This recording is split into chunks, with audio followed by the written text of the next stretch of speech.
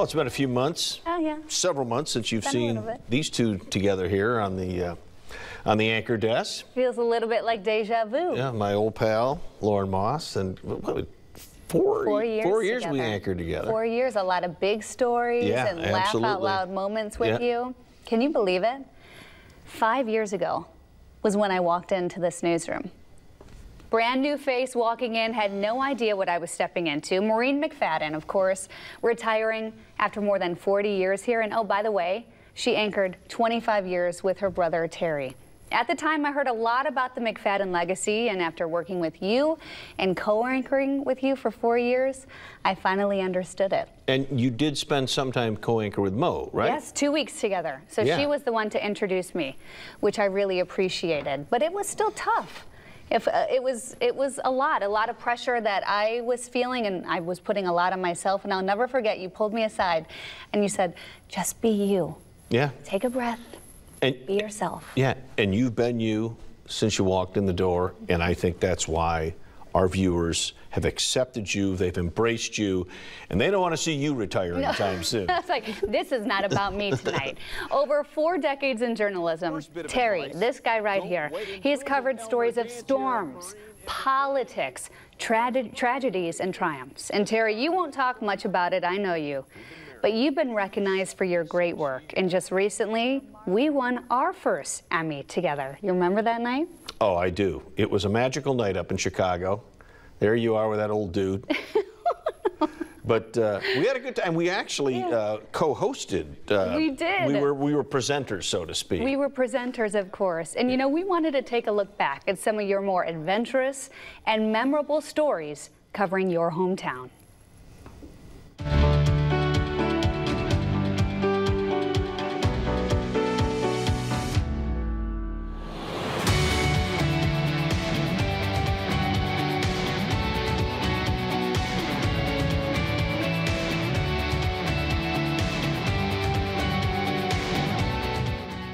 Once we ascend this ladder, we're inside the inner dome and ready to continue our journey.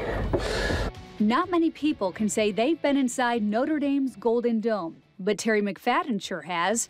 Here's proof. Because of the renovation, the view from the slotted windows inside the cupola is now obstructed. But thanks to some scaffolding in place for the dome's regilding, we get an even better view. And what a view it is. And after clinging to the scaffolding, I cower back to safety and officially add my name to an age-old fraternity. did a franchise called Off Limits, where I would have access to places the average person would not get access to. And that one I really loved because I got to go up inside the Golden Dome, which, if you get caught doing that now, you could end up hard labor the rest of your life. No, I'm just kidding. Hey, Ma, top of the world. I got an inside tour with Lou Holtz in his house. It's a chronology of Lou's rise through the coaching ranks, although the decor belies the fact this area was designed more for the children and Beth than Lou.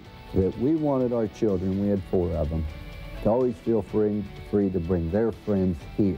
I got to go into the containment dome at Cook Nuclear uh, Power Plant in Bridgman. And the enormity of this building is no accident. The volume is designed that if there was an accident, the steam that would escape would be maintained within that volume. I got to see some really interesting things. It remains a beacon for many a boater navigating in the darkness. We all know Terry was made in Michiana, Sewing. And the hometown boy went on to showcase local businesses also made in Michiana. This is tough. This is what they want. They are the folks building the new Cleveland Browns football stadium Basically about been many. and the finest fabrics by the skilled hands at Troyer's in Shipshewana, just one of a dozen carriage makers left in America. A lot of satisfaction.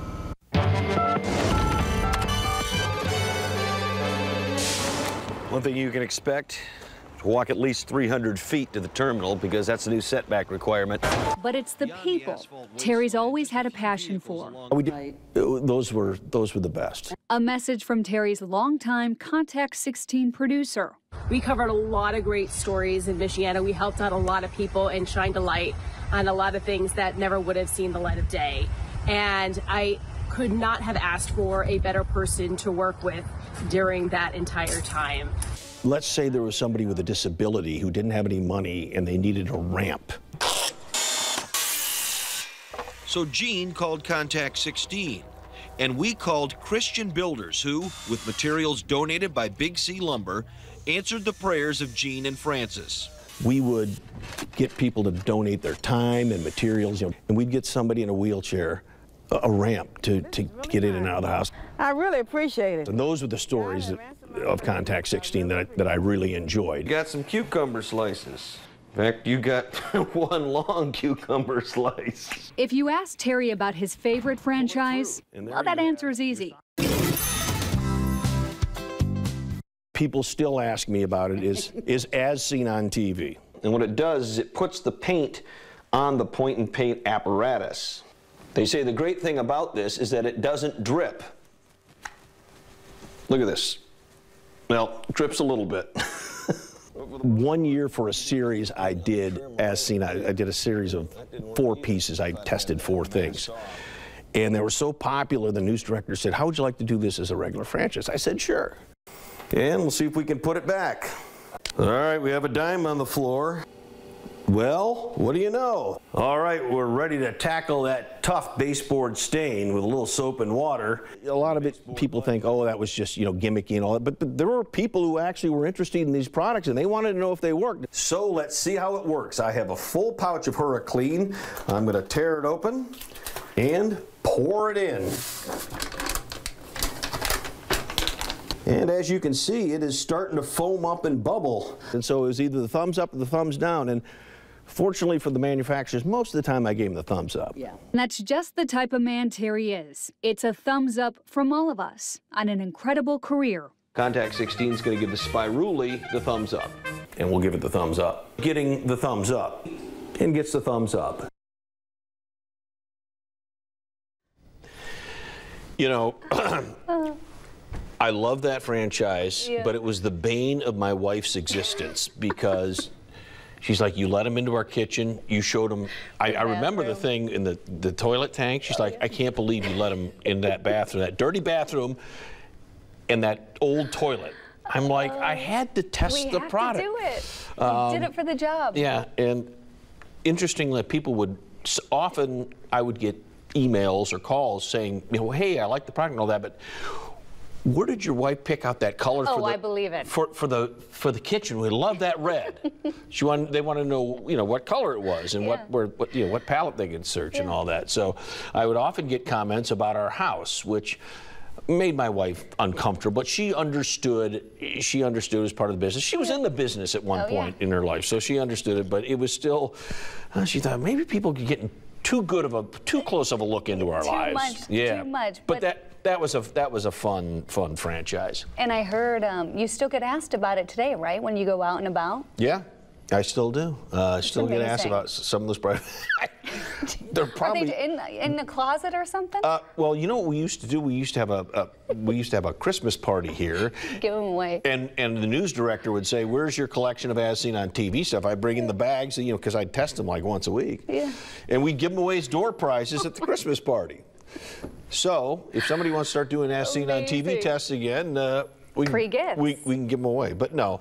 Um, one thing I liked about my time here is that I wasn't stuck on one franchise ad nauseum forever. Um, I, you know, you, you get a little burned out with certain ones, and it's time to make a shift. And so it was, you know, the the um, the off limits were just fabulous. cool. But finally, you ran out of places to get into, Right. and then you know OSHA regulations and people started getting a little. You know, the lawyers were calling up and saying, "Hey, you don't let them in there." So uh, my my places to explore kind of vanished. And then Made in Michiana was great because who wouldn't want to know about a, a place? In this area that's employing a lot of people Right. and, it, and it's putting a good product out on the market. Uh, and then, of course, Contact 16, we, uh, you saw the story about the woman in, in the wheelchair. wheelchair. I mean, those were the kinds of, and, and seeing Jen Tremaine, who used to be Jen Stratham, my dear her, she and Vanessa Weber were the best.